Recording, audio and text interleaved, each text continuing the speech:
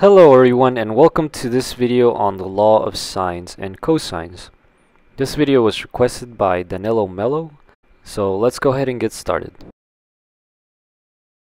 To begin we have a triangle with angles A, B, and C along with sides A, B, and C. Let's go ahead and label the altitude H1. So we have two right triangles and we are going to use sine of theta is equal to the opposite side over the hypotenuse.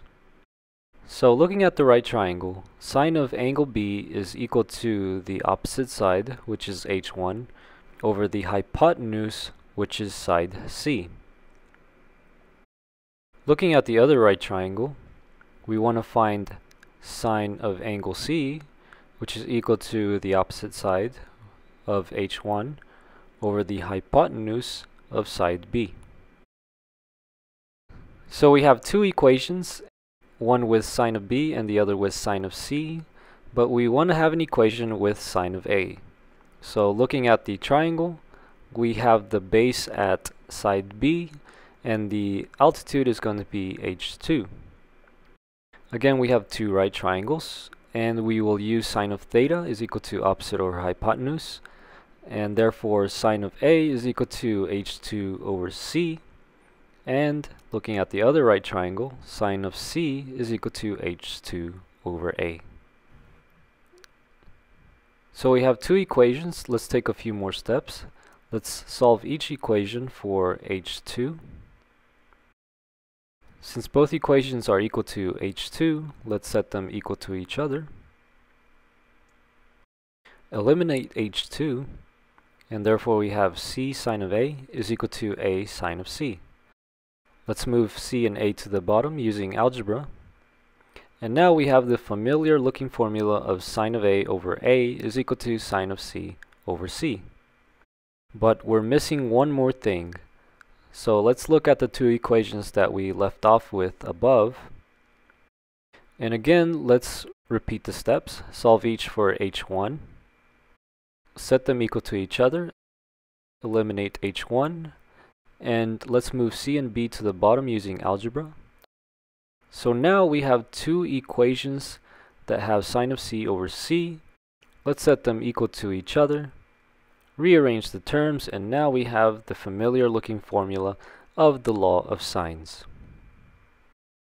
So let's go ahead and derive the law of cosines, and we are going to use cosine of theta is equal to the adjacent side over the hypotenuse. We have our triangle of A, B, and C, and the altitude is h1. Now the altitude is going to split side A into two segments. So the first segment has a length of x Therefore, the remaining segment has a length of a minus x. Now, by the Pythagorean theorem, the sides of the highlighted right triangle have the relationship of x squared plus h1 squared is equal to c squared.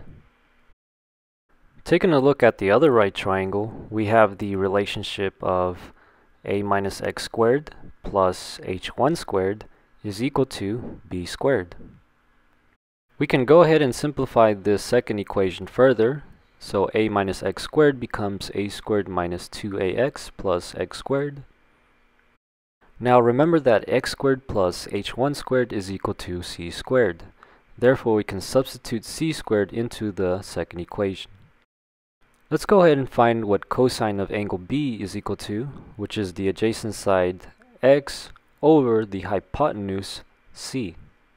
We can go ahead and solve for x, which gives us c cosine of b, and we can substitute this in into the second equation. Let's go ahead and rearrange the terms, and now we have that b squared is equal to a squared plus c squared minus 2ac cosine of angle b. And this is one of the cosine laws. We can find the remaining two cosine laws by using a different altitude, so we pretty much repeat the steps from the last example. Therefore, H2 divides sides B into Z and B minus Z. We use the Pythagorean theorem to define the relationship between the sides of both right triangles. We simplify the second equation and we substitute in a squared into the second equation. We find that cosine of c is equal to z over a. We solve for z and we substitute this into the second equation. Rearrange the terms and we have another cosine law. c squared is equal to a squared plus b squared minus 2ab cosine of c. In order to find the last cosine law, we define the altitude of h3, which splits side c into y and c minus y. We use the Pythagorean theorem to define the relationship of the sides of both right triangles. Let's go ahead and simplify the second equation.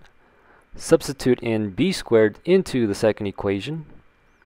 Cosine of a is equal to y over b. Solve for y.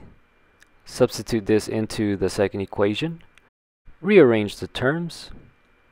And we have the last cosine law, a squared is equal to b squared plus c squared minus 2bc cosine of a.